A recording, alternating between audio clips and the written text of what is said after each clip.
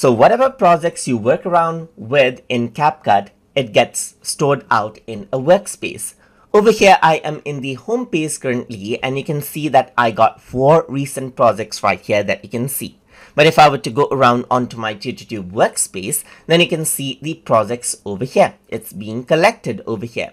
So this is the all projects right here. You can go around and see projects over here. You can see the exported videos right here just like this which is stored. And all of them are stored over here in your given um, um, uh, like uh, the space right here. You can go around and see the different materials that you have uploaded over here for your projects as well over here. And you can go around and delete them and manage them according to how you want.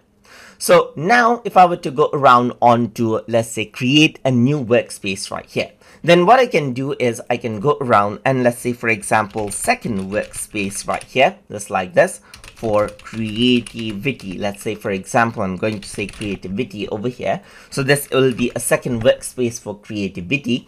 You can go around, invite out other members as well, and click on create space. Once you do that, a second workspace is created as you can see, and this workspace is empty over here.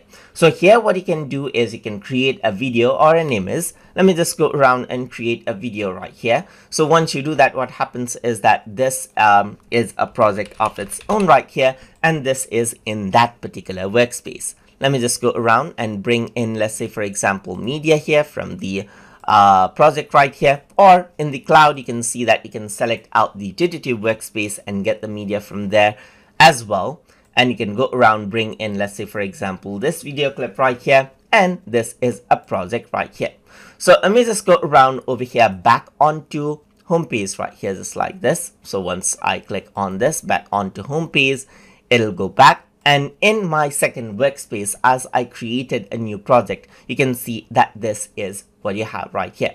You have the create new uh, project from over here as well. Let me, but let me just go around over here, uh, just like this, create a new project, select out anything, and then it gets saved onto the workspace that you selected right here on the start. If I were to uh, click on create a new workspace right here, then you can see that this is what you have. You get onto a new project. Um, uh, the workspace is automatically chosen. And then what you can also do is you can transfer the project between the workspace if you want to.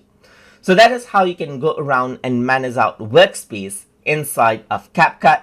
So hope you guys learned something as always. And as always, please like, comment, share, and subscribe.